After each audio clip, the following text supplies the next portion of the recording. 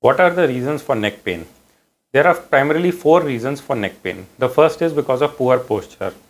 It can be due to the wrong sleeping posture at night when the pillow is not correct, or as it is commonly seen in IT professionals who work on the computer or laptop system for long. So if the neck posture is not correct while working on the laptop or the computer, then there is a chance of chronic neck pain. The second most common reason for chronic neck pain is if the curvature of the spine is not normal. Normally what happens, there is a lordosis or the curvature of the spine is like this in the neck.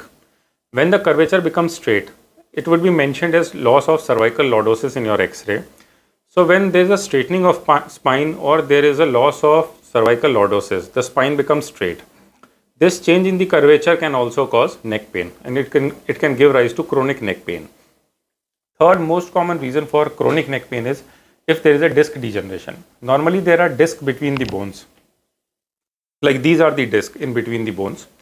So if there is degeneration of the disc, which commonly happens between the age of 30 to 50, this disc, disc degeneration can also lead to neck pain. The next and the last most common reason for neck pain is when there is a arthritis in the joints of the spine.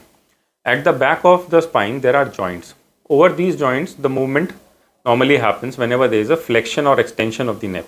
That means whenever we try to bend the neck forward or backwards, there is a movement at these joints. So if there is arthritis of these joints, it can also lead to neck pain.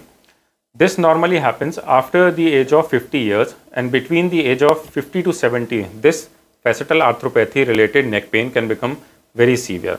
So these are the four most common reasons for neck pain. First is poor posture. Second is change in the curvature of the spine. Third is the disc degeneration. And fourth is the facetal arthropathy. Normally, neck pain responds very well to uh, condition uh, to treatment in the form of medicines or exercises or physiotherapy and surgery is very rarely required. अगर आपको हमारा ये video पसंद आया तो हमारे channel को subscribe करना ना भूलें और ज़्यादा से ज़्यादा शेयर करें